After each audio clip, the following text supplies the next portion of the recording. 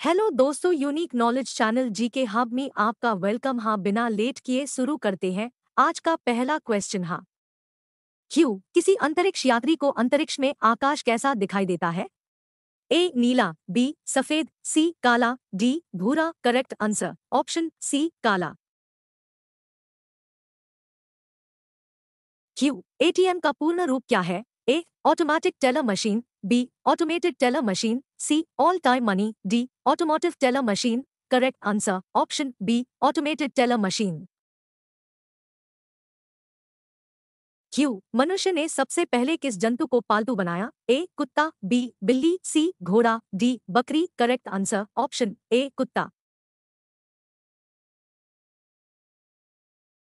Q किस जानवर का सिर काटने पर भी ज़िंदा रहता है? ए तितली, बी कोकरोच, सी मधुमक्खी, डी मोर, उत्तर, बी कोकरोच।